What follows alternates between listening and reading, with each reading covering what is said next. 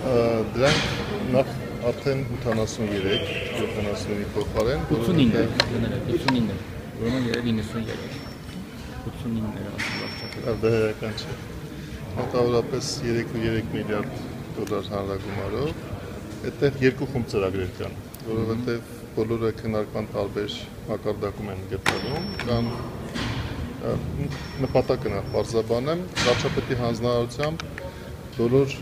այն ծրագրերը, որոնց վերաբերյալ ծրագրի հեղինակները իրենց նախաձեռնությամբ դիմում են կառավարությանը այս կամ այն կերպ աջակցություն խնդրելու դիմումով, մենք դրանք հաշվառում ենք, հավաքում ենք մեկ ամբողջական ցուցակի մեջ, զեկուցում ենք բարբերաբար վարչապետի աշխատակաց,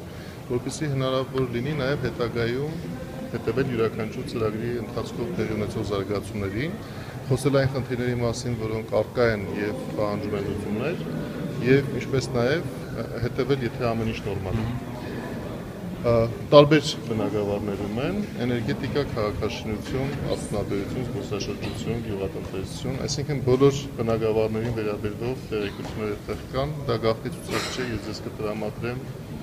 անունները հանված ոլորտներով կատարված ինչ որ ներդրում աշխատանք կա որ սկսել են արդեն այն 770-ը որ դուք նշում եք այդ 3.3 միլիարդից առանձնացված են մոտ 800 միլիոն դոլար արժեքով ընդհանուր արժեքով ծրագրեր որոնց ուղղությամբ այո այո քայլեր են արված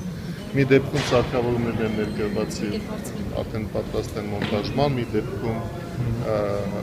դրանք ճանապարհին են, մի դեպքում շինարարական աշխատանքներ են իրականացվում, այսինքն բազմաթիվ տարբեր զարգացումներ կան, որոնք վկայում են այն մասին, որ մենք ունենք ընթացքի մեջ գտնվում, ինչպես եւ միշտ